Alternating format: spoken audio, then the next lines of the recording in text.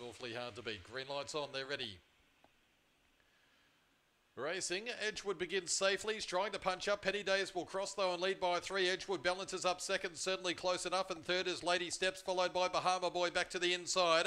River in a night and Angel Harks, but away goes Edgewood. Quickly put two or three on Penny Days. Bahama Boy's running home well. Looks a good chance for second. Then Lady Steps and River in a night as they swing. Edgewood in front.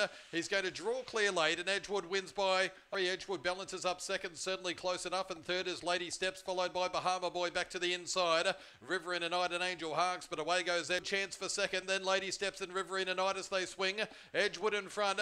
He's going to draw clear late, and Edgewood wins by